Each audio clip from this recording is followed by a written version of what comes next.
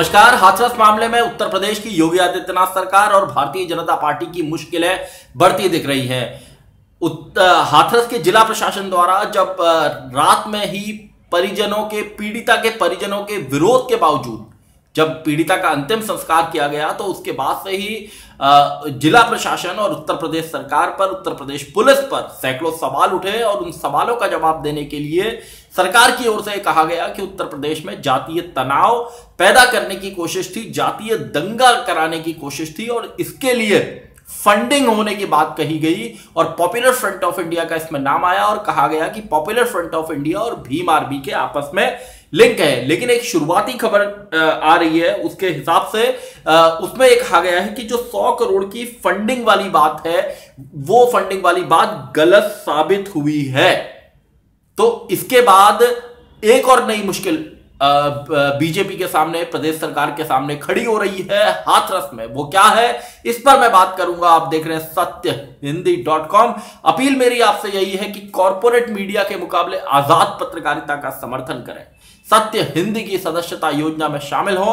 आर्थिक भुगतान का लिंक हमने डिस्क्रिप्शन में दिया हूँ। मैं बात कर रहा हूँ हाथरस के मामले की। हाथरस में जो नई मुश्किल भारतीय जनता पार्टी के सामने खड़ी हो रही है, वो ये है कि हाथरस में हाथरस मामले को लेकर स्थानीय दलित नेता और सवर्ण नेता आमने सामने हैं।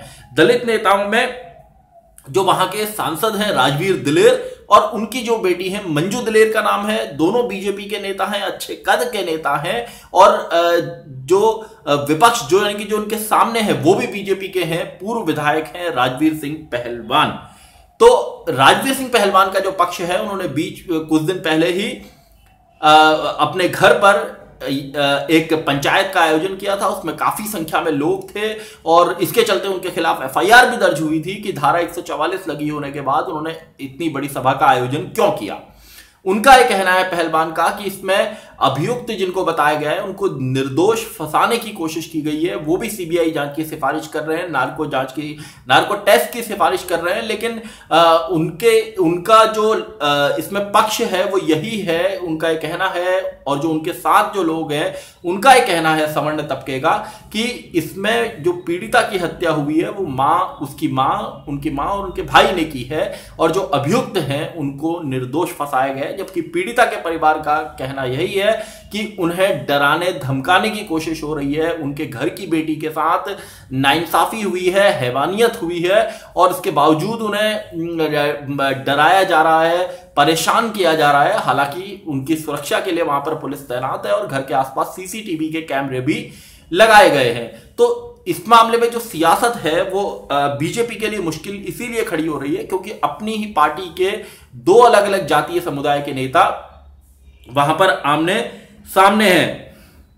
और जो स्थानीय जो सवर्ण बिरादरी के लोग हैं, उनका ये कहना है कि क्योंकि जो पीड़िता थी, उसकी जाति और मंजू दिलेर और राजवीर दिलेर की जाति एक है, इसलिए वो इस मामले में जातीय राजनीति करने की कोशिश कर रहे हैं और उन, वो इसको लेकर नाराज़ हैं और उनका कहना है कि अभियुक्तों को बेवजह फंसाने की कोशिश की जा रही है। जबकि मैं आपको बताऊँ कि मंजू दलेर ने जब हाथरस की घटना हुई 14 सितंबर को, उसके बाद उनका एक, उनकी एक फेसबुक पोस्ट है जो वायरल हो रही है, उसमें उन्होंने 19 सितंबर की ये फेसबुक पोस्ट है। उसमें मंजू दलेर ने युवती के साथ दलित जो युवती थी, उसके साथ बलात्कार होने, उसके साथ मारपीट होने की बात कही थी, और ये भी कहा था कि उन्होंने इस घटना को लेकर मुख्यमंत्री योगी आदित्यनाथ, बीजेपी के प्रदेश अध्यक्ष स्वतंत्र देव सिंह और उत्तर प्रदेश के डीजीपी को भी इस घटना से अवगत करा दिया है और उस हाथरस के डीएम और हाथरस के एसपी से भी उन्होंने इस घटना को लेकर बात की थी कि संदीप के अलावा जो बाकी तीन अभियुक्त हैं, इनको भी गिरफ़्तार कर जेल भेजा जाए। तो उनकी जो ये पुरानी फेसबुक पोस्ट है, उसके बाद भी अभी भी वो जब पीड़िता की मौत हो चुकी है, वो लगातार उसके इंसाफ की, उसके हक की लड़ाई लड़ रहे हैं, जबकि जो बीजेपी के पूर्व विधायक है, पहलवान, उनका स्टैंड वही है कि अभियुक्तों को फंसाया जा रहा है। वो निर्दोष है। और अभी मैं आपको बताऊँ कि कुछ दिन पहले एक अंग्रेज़ी अखबार ने कुछ दलित सांसदों ने, से उत्तर प्रदेश के कुछ दलित सांसदों से इस मसले पर बात की थी और उन्होंने भी इस बात को पार्टी लाइन से बधे होने की मजबूरी के चलते खुलकर तो नहीं, लेकिन इस बात को कहा कि उत्तर प्रदेश पुलिस का रवैया जिस तरह हाथरस मामले में रहा कि पीड़िता के परिवार को उसका चेहरा तक नहीं देखने दिया गया और उस, उसका जबरन दाह संस्कार कर दिया गया तो इसको लेकर उनमें भी नाराज़गी थी। और एक सांसद ने यह भी कहा था कि उत्तर प्रदेश में की जो पुलिस है, वहाँ पर जातिवाद और भ्रष्टाचार की जड़ें काफ़ी गहरी हैं। और चूँकि मैं जैसा मैंने कहा कि पार्टी लाइन से बधे हो, होने के कारण वो बहुत कुछ ज़्यादा नहीं बोल पाए लेकिन उन्होंने ये ज़रूर कहा कि पुलिस गरीबों और दलित समुदाय के लोगों का उत्पीड़न कर रही है। हालाँकि उन्होंने योगी सरकार में विश्वास जताया और कहा कि सरकार दोषियों के खिलाफ कड़ी कार्रवाई करेगी उनके खिलाफ एक्शन लेगी इसका उन्हें पूरा भरोसा है।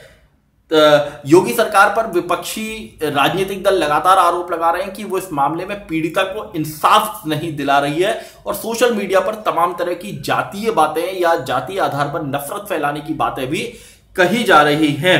इसको लेकर कई एफआईआर दर्ज होने की भी सूचना है। अब उत्तर प्रदेश में जैसे, जिस तरह प्रियंका गांधी और राहुल गांधी ने हाथरस पहुँचने की कोशिश की, पहले दिन उन्हें रोका गया, दूसरे दिन वो फिर पहुँचे, और समाजवादी पार्टी और राष्ट्रीय लोकदल ने जिस तरह प्रदर्शन किया है, राष्ट्रीय लोकदल के उपाध्यक्ष जयंत चौधरी पर जैसे लाठीचार्ज हुआ, उसके बाद पश्चिमी उत्तर प्रदेश में राष्ट्रीय लोकदल लगातार महापंचायतों का आयोजन कर रहा है, और उसमें कांग्रेस और समाजवादी पार्टी की भी भागीदारी है। तो इससे उत्तर प्रदेश में एक जो विपक्ष है, उसको संजीवनी मिल गई है। हालाँकि हाथरस मामले की सीबीआई जाँच होनी है। योगी सरकार ने खुद सुप्रीम कोर्ट में कहा है कि शीर्ष अदालत की निगरानी में ही इस मामले की जाँच होनी चाहिए। तो सीबीआई जाँच इस मामले की होगी उसमें जो कुछ निकल कर आएगा वो सबके सामने आएगा लेकिन हाल फ़िलहाल बीजेपी के लिए जिस तरह मैंने दलित सांसदों की बात कही कि उन, उन्होंने नाराज़गी जताई पुलिस के रवैये को लेकर और ये कहा कि पुलिस में जातिवाद और भ्रष्टाचार की जड़ें गहरी है। इसके अलावा जो हाथरस का मसला है, जहाँ पर दलित और सवर्ण तबका आमने सामने है वो भी पार्टी के लिए चिंता का विषय है और सोशल मीडिया पर जिस तरह से दलित समुदाय अपनी नाराज़गी जता रहा है और सवर्ण तबका भी लगातार अभियुक्तों के निर्दोष होने की बात कह रहा है, उससे 2022 का जो विधानसभा चुनाव है, जिसमें सिर्फ़ सवा साल का वक्त बचा है और योगी सरकार किसी भी कीमत पर उसमें अच्छी जीत हासिल करना चाहती है। पिछली बार उसे बंपर जीत हासिल हुई थी। इस बार योगी आदित्यनाथ चाहते हैं कि उनके नेतृत्व में पार्टी बंपर जीत हासिल करे। और राम मंदिर के शिलान्यास के बाद बीजेपी को लग रहा था कि उसे बड़ी जीत मिलने से अब कोई नहीं रोक सकता, लेकिन हाथरस मामले ने इस उम्मीद को कम किया है, धूमिल किया है। तो देखना होगा सीबीआई जाँच में क्या निकल कर आता है, लेकिन तब तक विपक्षी दल हाथरस मसले को लेकर अपनी आवाज़ को गर्म रखेंगे, बुलंद रखेंगे, और पीड़िता को इंसाफ दिलाने की जो बात है वो करते रहेंगे। प्रदेश सरकार ने भी यही कहा है कि वो इस मामले में जाँच कर सच को सामने लाना चाहती है। सत्य हिंदी डॉट कॉम में आज के लिए बस इतना ही ऐसे ही तमाम मुद्दों पर मेरी आपसे आगे भी बातचीत होती रहेगी। धन्यवाद। सत्य हिंदी के और वीडियोस को देखने के लिए हमारे यूट्यूब चैनल को सब्सक्राइब करें और सीधे नोटिफिकेशन पाने के लिए बेल आइकन दबाएँ।